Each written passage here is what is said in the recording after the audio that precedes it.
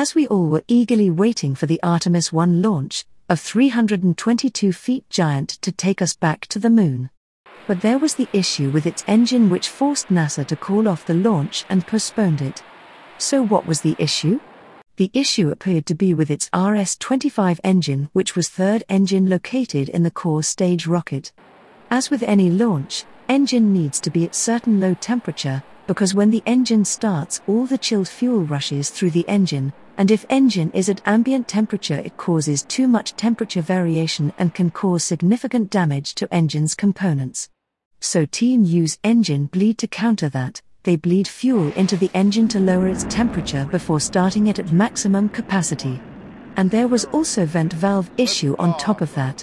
So we have to wait a little longer when this incredible rocket takes us back to the moon.